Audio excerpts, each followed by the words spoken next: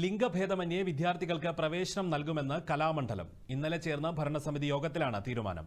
കഥകളിയിൽ പെൺകുട്ടികൾക്ക് അവസരം നൽകിയ പോലെ മോഹിനിയാട്ടത്തിൽ ആൺകുട്ടികൾക്കും അവസരം നൽകും.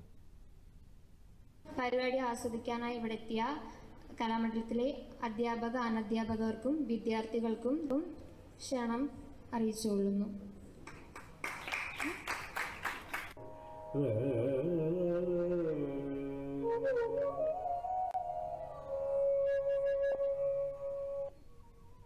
കലാമണ്ഡലം കൂത്തമ്പലത്തിൽ മോഹിനിയാട്ടം അവതരിപ്പിക്കാനായതിന്റെ സന്തോഷത്തിലാണ് R L V Ramakrishnan. Kalamandalam വിദ്യാർത്ഥി യൂണിയന്റെ നേതൃത്വത്തിലാണ് മോഹിനിയാട്ടത്തിന്റെ അവതരണം സംഘടിപ്പിച്ചത്. അടുത്ത അധ്യയന വർഷം മുതൽ കലാമണ്ഡലത്തിൽ ആൺകുട്ടികൾക്കും മോഹിനിയാട്ടം പഠിക്കാൻ അവസരമൊരുങ്ങുമെന്നാണ് പ്രതീക്ഷയെന്ന് ആർ എൽ വി രാമകൃഷ്ണൻ പറഞ്ഞു. മോഹിനിയാട്ടത്തിന്റെ അടവുകൾ കോർത്തിണക്കിക്കൊണ്ട് ഗണപതി സ്തുതിയിൽ അവസാനിപ്പിക്കുന്നതായിരുന്നു ആർ എൽ വി രാമകൃഷ്ണന്റെ കലാമണ്ഡലം കൂത്തമ്പല വേദിയിലെ നടന്ന അവതരണം.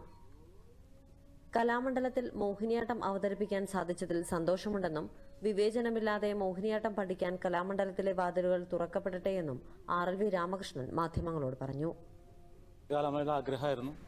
എന്റെ നൃത്ത ജീവിതത്തിലെ ഏറ്റവും പ്രധാനപ്പെട്ട ഒരു വേദിയായിട്ടാണ് കലാകാരൻ എന്നുള്ള രീതിയിലും കേരളത്തിന്റെ കലാരൂപം മോഹിനിയാട്ടത്തിന് സമ്മാനിച്ച അല്ലെങ്കിൽ മോഹിനിയാട്ടം എന്ന കലാരൂപം കേരളത്തിന് സമ്മാനിച്ച മഹാകവി വള്ളത്തോളിന്റെ ഈ സ്വപ്നഭൂമിയിൽ ഒരു പുരുഷനായി നിന്നുകൊണ്ട് അല്ലെങ്കിൽ അദ്ദേഹത്തിന്റെ ഈ മോഹിനി അപ്പോൾ ഏറെ വിവാദമായിരിക്കുന്ന ഒരു വാക്കാണ് മോഹിനി അല്ലെങ്കിൽ മോഹിനിയാട്ടം. അദ്ദേഹം വിഭാവനം ചെയ്തത് കൈരളി നൃത്തം എന്ന ലിംഗവിവേചനം പോലും ഇല്ലാത്തൊരു നൃത്തരൂപമാണ്. ആ നൃത്തരൂപത്തിന്റെ പേര് അങ്ങനെ തന്നെയായി തീരണമെന്ന് ഏറ്റവും നന്നായി ആഗ്രഹിക്കുന്നു.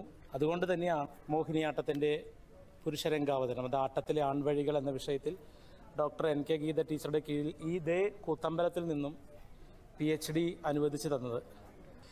എനിക്ക് തോന്നുന്നു ഇതൊരു പുരോഗമനത്തിന്റെ പാതയിലേക്ക് നീങ്ങും. തീർച്ചയായിട്ടും ആൺകുട്ടികളെ ഈ രംഗത്തേക്ക് വരും. അതിനുവേണ്ടിയാണ് ഇവിടുത്തെ വിദ്യാർത്ഥി യൂണിയൻ ഇങ്ങനെയൊരു ചുമതല ഉണ്ടാക്കിയെടുത്തത്. അതുകൊണ്ട് യൂണിയനോട് ഞാൻ നന്ദി പറയുന്നു ഈ അവസരത്തിൽ. അതുകൊണ്ട് ഇനി മോ മോഹിനിയാട്ടക്കാർ അല്ലെങ്കിൽ കൈരളി നൃത്തം അല്ലെങ്കിൽ കേരളത്തിന്റെ കല പഠിക്കാൻ ഒരു വിവേചനമില്ലാതെ തീർച്ചയായിട്ടും കലാമണ്ഡലത്തിന്റെ വാതിലുകൾ തുറക്കപ്പെടുമെന്ന് തന്നെയാണ് നിങ്ങളുടെ എല്ലാം പ്രോത്സാഹനം കൊണ്ടുകൂടിയാണ് ഞാൻ ഇവിടം വരെ എത്തി നിൽക്കുന്നത്.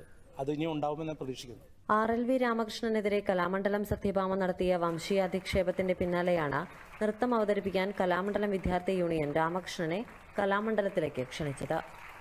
ഹരിത പ്രതാപ് ദൂരദർശൻ ന്യൂസ് തൃശൂർ.